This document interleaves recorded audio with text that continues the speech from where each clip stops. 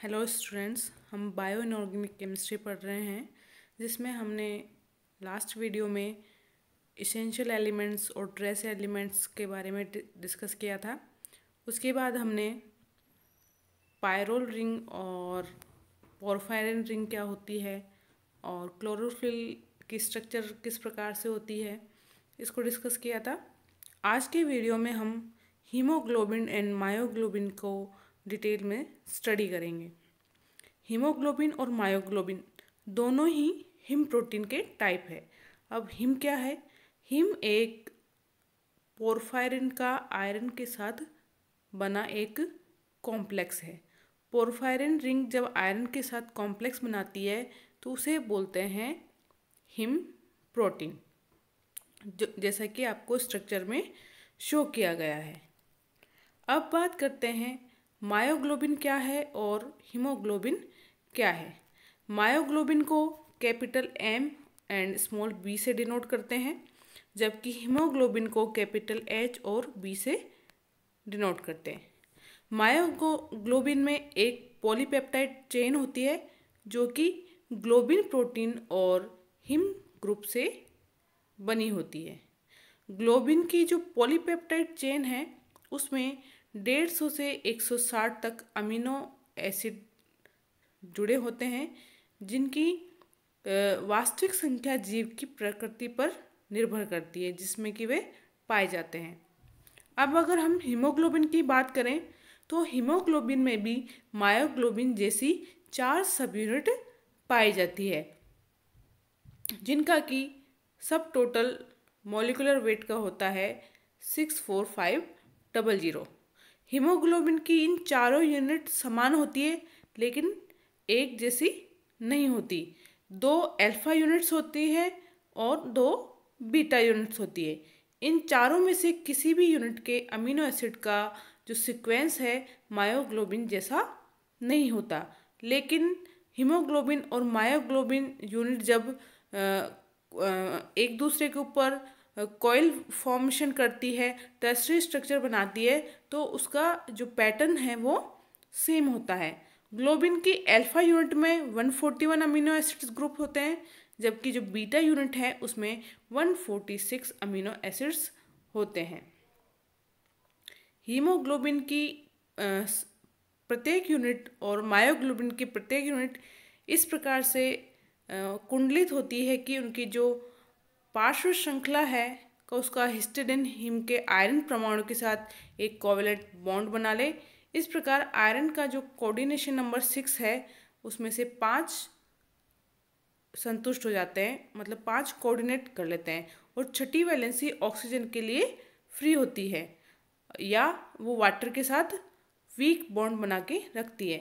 इस प्रकार oxyhaemoglobin में हिम का आयरन परमाणु प्लेन से एक और और जो हिस्टिडिन है, वो प्लेन से दूसरी ओर ऑक्सीजन मॉलिक्यूल के साथ जुड़कर ऑक्टाहेड्रल शेप में अपनी छः की छः कोऑर्डिनेशन नंबर को बैलेंस कर देता है। जैसा कि आपको स्ट्रक्चर में दिया गया है, आयरन पायरोल रिंग की जो नाइट्रोजन है, उससे जुड़ा हुआ है, चार वैलेंस से उससे कंप्लीट कर रहा है और एक वो हिस्टिडिन से कंप्लीट कर रहा है और बची हुई जो एक है, उससे ऑक्सी हीमोग्लोबिन का फॉर्मेशन करता है। अब हम बात करते हैं कि जो हीमोग्लोबिन और मायोग्लोबिन है, उनका शरीर में फ़ंक्शन क्या है? हीमोग्लोबिन और मायोग्लोबिन दोनों का जो इम्पोर्टेंट काम है, वो है मेनली ऑक्सीजन का ट्रांसपोर्ट और उसका स्टोरेज वो किन स्टेप्स में होता है, उसकी बात करते हैं। जब लंग्स में ऑक्सीजन आती है तो होमोग्लोबिन उससे जुड़कर ऑक्सी हीमोग्लोबिन जिसे कि हम एच बी ओ से डिनोट करते हैं, उसका फॉर्मेशन करता है। फिर ब्लड सर्कुलेशन में ये जो ऑक्सी हीमोग्लोबिन है ब्लड सर्कुलेशन के द्वारा डिफरेंट सेल्स बॉडी की डिफरेंट डिफरेंट सेल्स तक पहुँच जाता है। सेल्स में पहुँचने के बाद ऑक्सी हीमोग्लोबिन अपनी ऑक्सीजन को मायोग्लोबिन को दे देता है और ये मायोग्लोबिन ऑक्सीजन का स्टोरेज करता है। जब सेल्स में डिफरेंट मेटाबॉलिक रिएक्शन होती है तो आवश्यकता के अनुसार मायोग्लोबिन ऑक्सीजन को रिलीज़ करता रहता है। और साथ ही हीमोग्लोबिन अदर अमीनो एसिड के साथ जुड़कर सेल्स में होने वाली मेटाबॉलिक रिएक्शन से जो सी बनती है, उससे जुड़कर ब्लड सर्कुलेशन के साथ उस सी को लंग्स में छोड़ देता है। लंग्स में गैस का जो पार्शल प्रेशर है, उसके डिफरेंस के कारण हीमोग्लोबिन से कार्बन डाइऑक्साइड मुक्त फ्री हो जाती है और उसके स्थान पर ऑक्सीजन उससे वापस जुड़ जाती है और वापस ऑक्सी हीमोग्लोबिन का फॉर्मेशन हो जाता है। इस प्रकार से ये सर्किल चलती रहती है।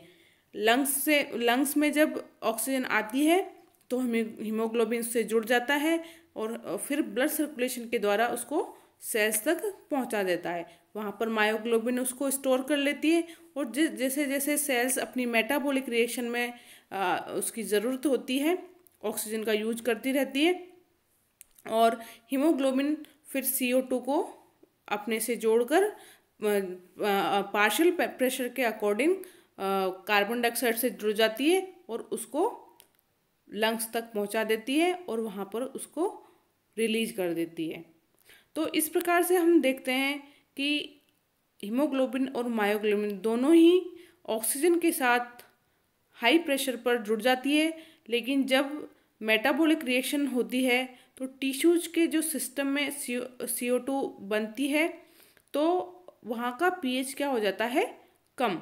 ऐसी सिचुएशन में ऑक्सी हीमोग्लोबिन तुरंत अपनी ऑक्सीजन को रिलीज़ करता है और दूसरे अमीनो एसिड के साथ कार्बन डाइऑक्साइड के साथ जुड़ जाता है। ये ऑक्सीजन रिलीज़ होते ही मायोग्लोबिन के साथ जुड़ जाती है और आवश्यकता पड़ने पर वो टिश्यूज़ को प्रोवाइड हो जाती है।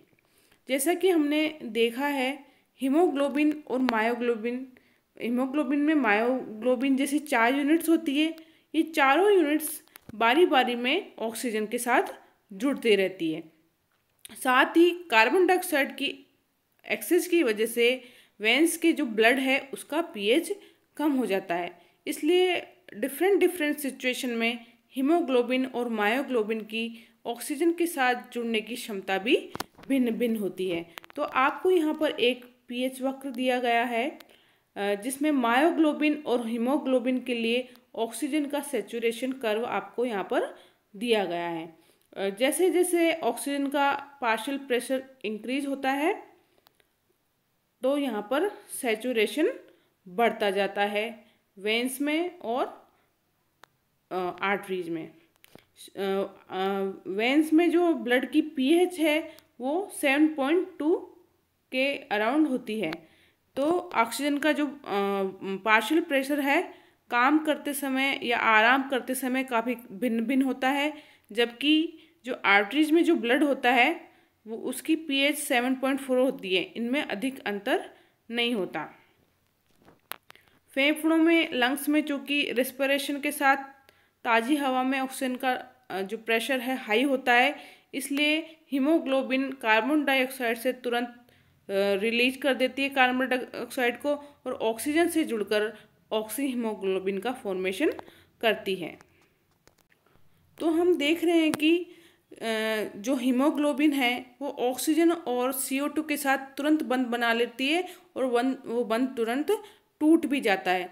तो इसका मतलब ये है कि हीमोग्लोबिन आयरन एटम में आयरन ऑक्सीजन और आयरन कार्बन डाइऑक्साइड बंद बनाने की स्ट्रॉन्ग टेंडेंसी रखती है, लेकिन जो ये बनने वाला बॉन्ड है, वो वीक होता है। इसलिए हमारा जो रेस्पायरेशन सिस्टम है, वो कंटिन्यूस चलता रहता है। इसके अपोजिट, जबकि जो कार्बन मोनोऑक्साइड है, उसके साथ हीमोग्लोबिन की जो बॉन्डिंग है, वो बहुत ही स्ट्रॉन्ग होती है। इसलिए इन गैसेस को पॉइजनस गैस कहा जाता है। और कई बार आपके एग्ज़ाम में भी क्वेश्चन आता है कि कार्बन मोनोऑक्साइड की वजह से किसी भी मनुष्य की मृत्यु क्यों हो जाती है? तो जो carbon monoxide P F three आदि जो गैसें हैं, वो क्या करती है? कि अगर श्वास के साथ लंग्स में चली जाती है तो ये हीमोग्लोबिन के साथ बाइंड हो जाती है और आयरन और कार्बन मोनोऑक्साइड से जो बंद बनता है, वो बहुत ही स्ट्रॉन्ग होता है और ये टूटता नहीं है, जबकि आयरन ऑक्सीजन के साथ बंद इजीली बन भी जाता है और टूट भी जाता है। तो इसकी वजह से क्या होता है, हीमोग्लोबिन और कार्बन मोनोऑक्साइड की सांद्रता इतनी ज़्यादा हो जाती है कि हीमोग्लोबिन ऑक्सीजन को एक्सेप्ट ही नहीं कर पाता। और इस ऐसी कंडीशन में टिश्यूज़ को ऑक्सीजन की कमी हो जाती है और मेटाबॉलिक रिएक्शन भी स्लो हो जाती है। और अंत में जो रिज़ल्ट होता है वो क्या होता है कि मनुष्य की मृत्यु हो जाती है। इसी प्रकार से कुछ हैवी मेटल्स हैं जो कि जो कि शरीर पर पॉइजनस इफ़ेक्ट डालती है, जैसे कि arsenic oxide barium carbonate lead mercury आदि। ये सारी मेटल्स और उनके जो कंपाउंड्स होते हैं प्रोटीन अमीनो एसिड एंजाइम इनके साथ कोऑर्डिनेट करके उनकी जो एक्टिविटी है उसको डिस्ट्रॉय कर देते हैं। अब हम बात करते हैं हीमोग्लोबिन और मायोग्लोबिन में क्या अंतर है। उनमें कंपैरिजन करते हैं। दोनों ही हिम प्रोटीन है, जैसा कि ऑलरेडी बताया जा चुका है। दोनों में ही ग्लोबिन यूनिट पाई जाती है। जो कि, जिनकी की टर्शरी जो स्ट्रक्चर होती है प्रोटीन की, वो सेम होती है। मायोग्लोबिन में डेढ़ सौ से एक सौ साठ तक अमीनो एसिड पाई जाती हैं। एक पॉलीपेप्टाइड चेन होती है, जिसमें ग्लोबिन प्रोटीन और एक ही हिम ग्रुप होता है। जबकि हीमोग्लोबिन में ग्लोबिन प्रोटीन की चार यूनिट्स पाई जाती हैं, जिनमें से दो अल्फ़ा यूनिट होती है और दो बीटा यूनिट होती है। अल्फ़ा यूनिट में one forty one amino acids पाए जाते हैं, जबकि बीटा यूनिट में one forty six amino acids पाए जाते हैं। इन चारों में किसी का भी क्रम मायोग्लोबिन जैसा नहीं होता। हीमोग्लोबिन ब्लड वेसल्स में ब्लड को हीमोग्लोबिन में जो सॉरी हीमोग्लोबिन ब्लड वेसल्स में जो ब्लड होता है उससे शरीर में ऑक्सीजन और कार्बन डाइऑक्साइड का ट्रांसपोर्ट करता है, जबकि मायोग्लोबिन सेल्स में, टिश्यूज़ में जो प्रेजेंट ब्लड होता है, वो वहीं रहता है। हीमोग्लोबिन ऑक्सीजन के साथ जुड़कर ऑक्सी हीमोग्लोबिन बनाता है, जो बहुत ही आसानी से ऑक्सीजन को रिलीज़ करके वापस हीमोग्लोबिन बन जाता है। उसका रीज़न यही है कि हीमोग्लोबिन, जो ऑक्सी हीमोग्लोबिन बनाता है एच बी ओ टू बंद बहुत ही वीक होता है। इसके अगेन अगेंस्ट जो मायोग्लोबिन ऑक्सीजन के साथ जो बंद बनाता है, वो बहुत ही स्ट्रांग होता है। ये जब तक ऑक्सीजन को रिलीज़ नहीं करता, जब तक कि सेल में ऑक्सीजन की बहुत अधिक कमी नहीं हो जाती। हीमोग्लोबिन शरीर में ऑक्सीजन की प्रॉपर सप्लाई बनाए रखता है। जबकि जो मायोग्लोबिन है, ऑक्सीजन का स्टोरेज करता है। और केवल आपातकाल में ही जो इमरजेंसी सिचुएशन आती है, तभी वो ऑक्सीजन को रिलीज़ करता है। तो इस प्रकार से हमने देखा कि किस प्रकार से हीमोग्लोबिन और मायोग्लोबिन एक दूसरे के कई पॉइंट ऑफ़ व्यू से सिमिलर सिमिलर भी है तो वो कई पॉइंट ऑफ़ व्यू से डिफरेंट भी है। बोर इफ़ेक्ट क्या है? बोर प्रभाव क्या है? इसको भी हम एक बार देख लेते हैं। हीमोग्लोबिन की ऑक्सीजन से जो बाइंडिंग कैपेसिटी है, उस पर जो पीएच का प्रभाव पड़ता है, उसे ही क्या कहा जाता है? Bore effect. जो मायोग्लोबिन है, वो हाइपरबोलिक कर्व शो करता है। मायोग्लोबिन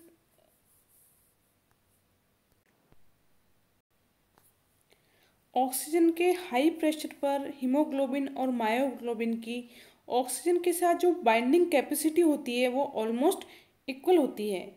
लेकिन मसल्स में ऑक्सीजन के कम प्रेशर पर हीमोग्लोबिन के ऑक्सीजन के साथ बाइंडिंग कैपेसिटी तुलनात्मक कम होती है। तो आवश्यकता होने पर ऑक्सीजन को मायोग्लिन पर, मायोग्लोबिन पर ट्रांसफ़र कर देता है, जो कि टिश्यूज में सेल्स को आसानी से ऑक्सीजन दे देता है और टिश्यू ऑक्सीजन को यूज़ करके कार्बन डाइऑक्साइड को रिलीज़ कर देते हैं।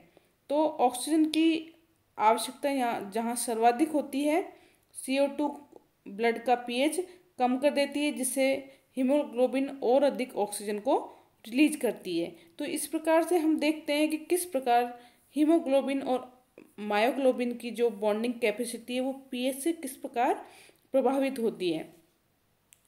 तो इसी वजह से जो मायोग्लोबिन है, वो हाइपरबोलिक कर्व शो करती है पीएच इफ़ेक्ट के साथ, जबकि जो हीमोग्लोबिन के लिए ऑक्सीजन बाइंडिंग कर्व है, वो सिग्मोइड टाइप का होता है। इसका मतलब ये है कि ऑक्सीजन का एक इकाई से जुड़ना अगली ऑक्सीजन के जुड़ने का बढ़ाता है, जो फिर से अगली ऑक्सीजन के जुड़ने को बढ़ाता है।